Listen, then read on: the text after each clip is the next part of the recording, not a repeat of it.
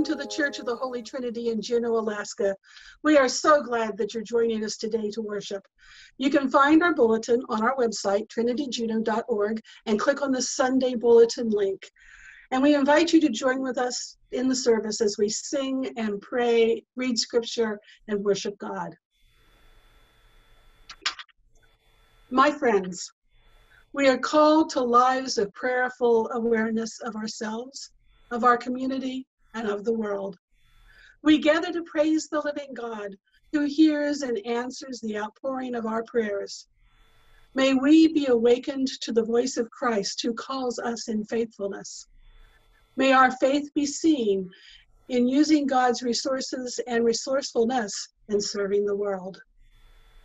Blessed be God, most holy, glorious, and undivided Trinity and blessed be God's reign, now and forever. Amen.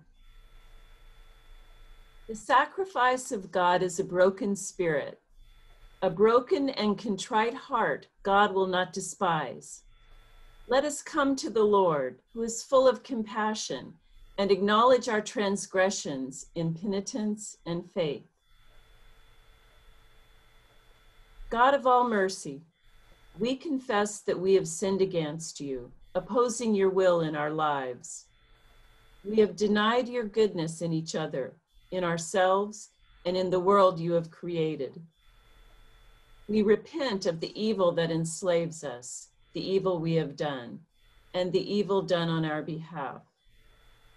Forgive, restore, and strengthen us through our Savior Jesus Christ, that we may abide in your love and serve only your will. Amen. Almighty God, have mercy on us. Forgive us all our sins through the grace of Jesus Christ. Strengthen us in all goodness, and by the power of the Holy Spirit, keep us in eternal life. Amen. A reading from the book of Exodus. The whole congregation of the Israelites complained against Moses and Aaron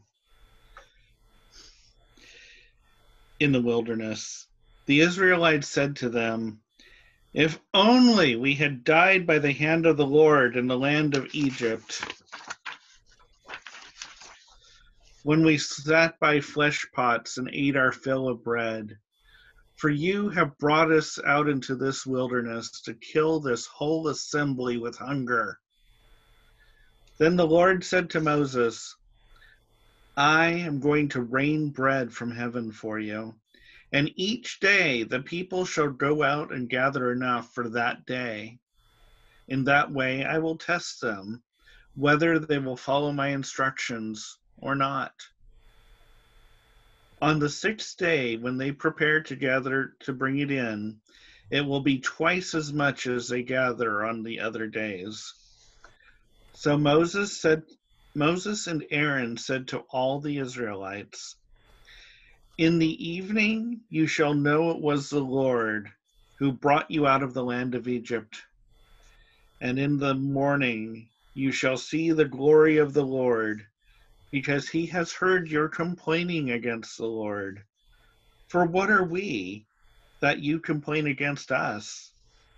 And Moses said, When the Lord gives you your meat to eat in the evening and your fill of bread in the morning, because the Lord has heard the complaining that you utter against him, what are we?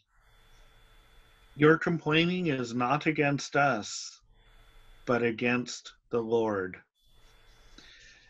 Then Moses said to Aaron, Say to the whole congregation of the Israelites, Draw near to the Lord, for he has heard your complaining. And as Aaron spoke to the whole congregation of the Israelites, they looked towards the wilderness, and the glory of the Lord appeared in the cloud. The Lord spoke to Moses and said, I have heard the complaining of the Israelites. Say to them, At twilight you shall eat meat, and in the morning you shall have your fill of bread. Then you shall know that I am the Lord your God. In the evening, quails came up and covered the camp. And in the morning, there was a layer of dew around the camp. When the layer of dew lifted, there on the surface of the wilderness was a fine, flaky substance, as fine as frost on the ground. What? When the Israelites saw, saw it, they said to one another, What is it? For they did not know what it was. Moses said to them, It is the bread that the Lord has given you to eat. Here ends the lesson. The psalm appointed to today are verses from Psalm 105. Give thanks to the Lord and call upon his name. Make known his deeds among the peoples. Sing to him, sing praises to him, and speak of all his marvelous works. Glory in his holy name. Let the hearts of those who seek the Lord rejoice. Search for the Lord and his strength. Continually seek his face. Remember the marvels he has done, his wonders and the judgments of his mouth. O offspring of Abraham, his servant, O children of Jacob, his chosen. He led out his peoples with silver and gold. In all their tribes there was not one who stumbled. Egypt was glad of their going because they were afraid of them. He spread out a cloud for a covering and a fire to give light in the night season. They asked wells appeared, and he satisfied them with bread from heaven. He opened the rock, and the water flowed, so the river ran dry in the dry places. For God remembered his holy word, and Abraham his servant. So he led forth his people with gladness, his chosen with shouts of joy. He gave his people the lands of the nations, and they took the fruit of others' toil. That they might keep his statutes and observe his laws. Alleluia. Glory to the Father, and to the Son, and to the Holy Spirit, as it was in the beginning, is now, and will be forever. Amen. Alleluia, alleluia. I am the light of the world, says the Lord. Whoever follows me will never walk in darkness, but will have the light of life. Alleluia, alleluia. The second lesson this morning is from the book of Matthew. Jesus said, The kingdom of heaven is like a landowner who went out early in the morning to hire laborers for his vineyard. After agreeing with the laborers for the usual daily wage, he sent them into his vineyard. When he went out about nine o'clock, he saw others standing idle in the marketplace. And he said to them, You also go into the vineyard, and I will pay you whatever is right. So they went. When he went out again about noon and about three o'clock, he did the same. And about five o'clock, he went out and found others standing around. And he said to them, Why are you standing here idle all day? They said to him, Because no one has hired us. He said to them, You also go into the vineyard. When evening came, the owner of the vineyard said to his manager, Call the laborers and give them their pay, beginning with the last and then going to the first. When those hired about five o'clock came, each of them received the usual daily wage. Now, when the first came, They thought that they would receive more, but each of them also received the usual daily wage. And when they received it, they grumbled against the landowner, saying, These last worked only one hour, and you have made them equal to us, who have borne the burden of the day and the scorching heat. But he replied to one of them, Friend, I am doing you no wrong. Did you not agree with me for the usual daily wage? Take what belongs to you and go. I choose to give to this last the same as I give to you. Am I not allowed to do what I choose with what belongs to me? Or are you envious because I am generous? So the last will be first, and the first will be last. Hear what the Spirit is saying to God's people.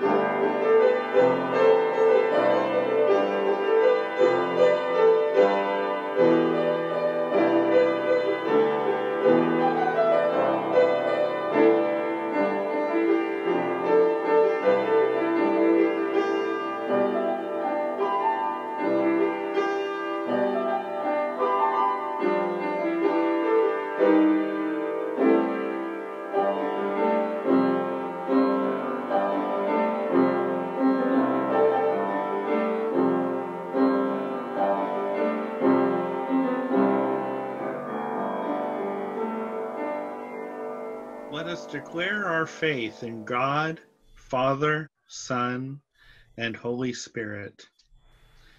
We believe in God, the Father Almighty, creator of heaven and earth. We believe in Jesus Christ, his only Son, our Lord, who was conceived by the Holy Spirit, born of the Virgin Mary, suffered under Pontius Pilate, was crucified, died, and was buried. He descended to the dead.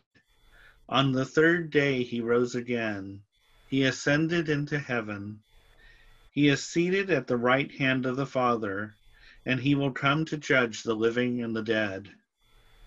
We believe in the Holy Spirit, the Holy Catholic Church, the communion of saints, the forgiveness of sins, the resurrection of the body, and life everlasting. Amen. And now, as our Savior Jesus Christ has taught us, we are bold to say, Our Father, who art in heaven, hallowed be thy name. Thy kingdom come, thy will be done, on earth as it is in heaven. Give us this day our daily bread. and forgive us our trespasses, as we forgive those who trespass against us. And lead us not into temptation, but deliver us from evil. For thine is the kingdom, and the power, and the glory, forever and ever. Amen. Grant us, Lord, not to be anxious about earthly things, but to love things heavenly, and even now, while we are placed among things that are passing away, to hold fast to those that endure, through Jesus Christ our Lord, who lives and reigns with you and the Holy Spirit, one God, forever and ever. Amen. Open our hearts to the wisdom of your Son, that without concern for the cost of discipleship or the reward of our labors, we may group how incomparable, we may grasp how incomparable the honor of working in your vineyard from morning until night. We ask this through our Lord Jesus Christ, your Son, who lives with you and reigns with you in the unity of the Holy Spirit, God forever and ever. Amen. God of all who wander in the wilderness, you go before us as beacon and guide. Lead us through all danger, sustain us through all desolation, and bring us home to the land you have prepared for us. Amen.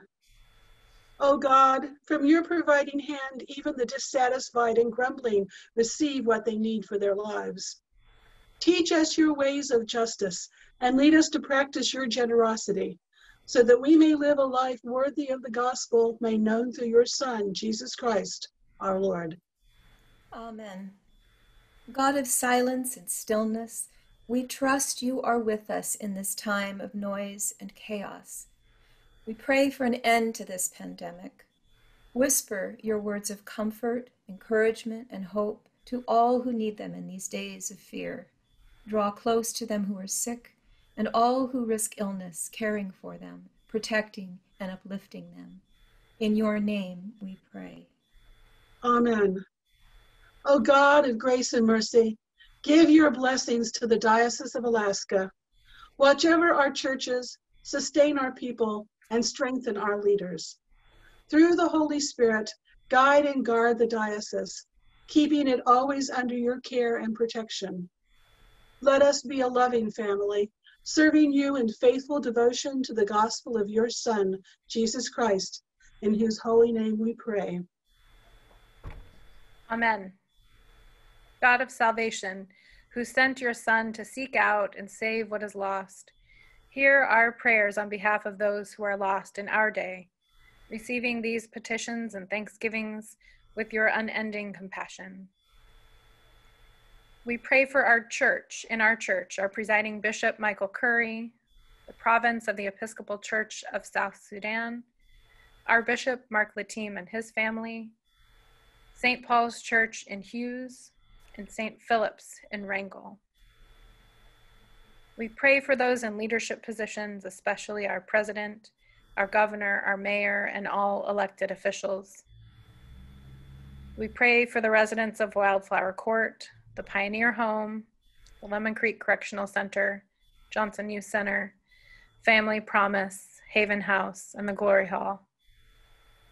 We pray for Juneau's homeless, the lonely, and those with financial difficulties. We pray for the end of violence and racism. We pray for peace and safety. We pray for the end of the COVID 19 pandemic. We pray for Sharon and Peter, Leah and Kira, Kathy Moss, Buzz and Monica, Alan and Rhonda Gaines, Stephen Rowcroft, the Vance and Kelly families, Phil and Janet, Mary, Lori R., Sharon Marvin, Father Wilson, Tony, Tina, Nancy Ferguson, the Coleman family, Bill. We pray for all those affected by the Pacific Coast fires. We give thanksgivings. We're grateful for our community of faith that is able to share with friends and family, not only in Juneau, but around the world. We pray for the departed, for Liz Saya, for Kathy Reddy, for Father Bob Hardman, for Griffin, for Cameron Vance, for all who have died during this pandemic. And we invite your position, petitions and intercessions at this time.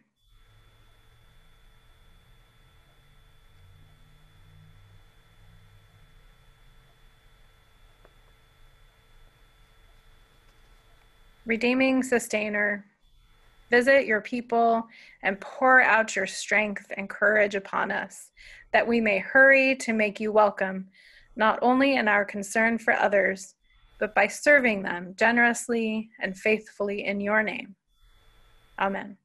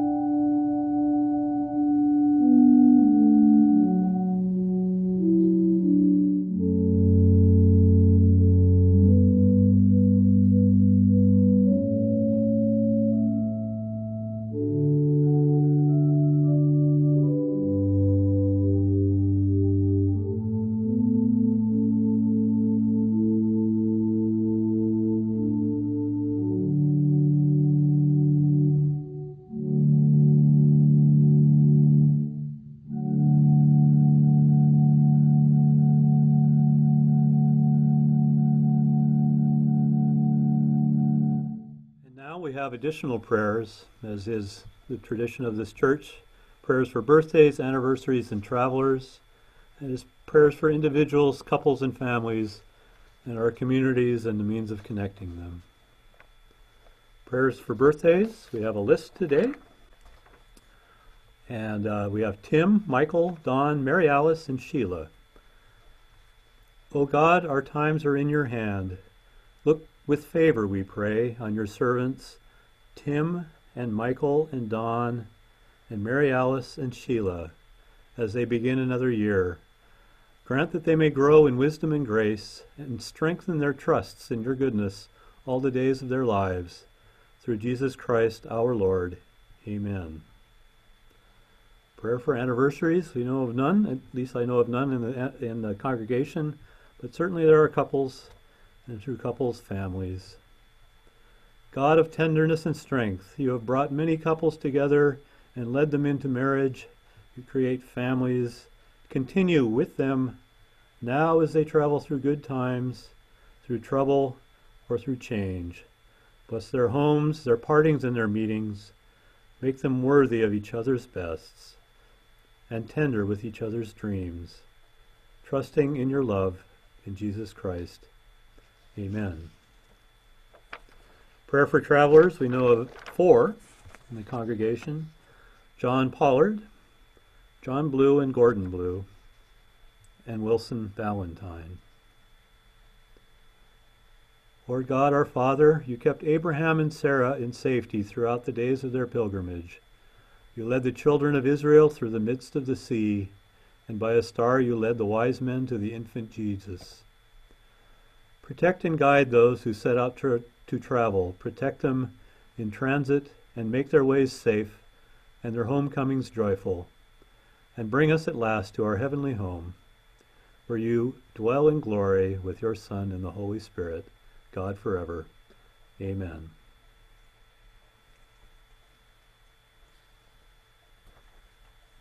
I have announcements. And first off, please, if you want to participate in some of the things that are going on in the church, let us know and we will send you a Zoom invite. There's centering prayer, and there's this Wednesday night, it's the book club discussion, and they're discussing a Pilgrimage to Eternity from Canterbury to Rome in Search of a Faith by Timothy Egan. It's a wonderful book, and but even if you haven't read it, the discussion's always fun. So let the uh, church office know that you would like an invite to the Zoom session. Coming up at the end of the month, Dr. Mo Longworth is offering energy healing meditation. And I will invite you to ask her about that because she can explain it better than I can, or to read the announcement in the bulletin. But that, if you'd like to figure out what's all going on, is also via Zoom. So let the church office know that you want an invitation. I'll keep saying that. Let the church office know. Coming up on the 4th of October, it's the blessing of the pets for St. Francis. And we are going to do it because we always do it. It just, this one might be a little different. Um, it will also be, uh, at least part of it anyway, will be via Zoom. So if you want your pet individually blessed, let the church office know that you want an invite to the Zoom session and then just show up at 11:45 on the 4th. Have your pet in your arms or in a cage or however you need to, to bring your pet, and we will bless them. We are working on trying to figure out a way to do a drive-by pet blessing. We haven't gotten there yet, but I'll let you know if we do. Um, finally, uh, we have a backpack ministry at Holy Trinity in which we provide adult day packs or small duffel bags with clothes, clothing, toiletries, bus tokens, meal cards, a New Testament, a mask these days, and other little things that we give to men and women who are being released from Lemon Creek. And at this point, we need uh, day packs and duffels. So if you've got a gently used one, you got some new ones, you want to contribute some new ones, uh, please call Sarah Isto. And, or if you want to give money toward that or anything else of the ministries of the church, you can do that online on the Holy Trinity website. You just click on the donate button, or you can send a check to the church. And I think, unless anybody else has got anything else, that is all the announcements that I have. And I've lost. So here we go. go out in the strength of God's gracious gifts. Live lives worthy of the gospel of Christ. Stand firm in one spirit. Strive with one mind for the faith of the gospel. And may the power of the presence of God go with us. May the call of Christ lead us into fruitful labor. And may the Holy Spirit fill us with the joy of grace.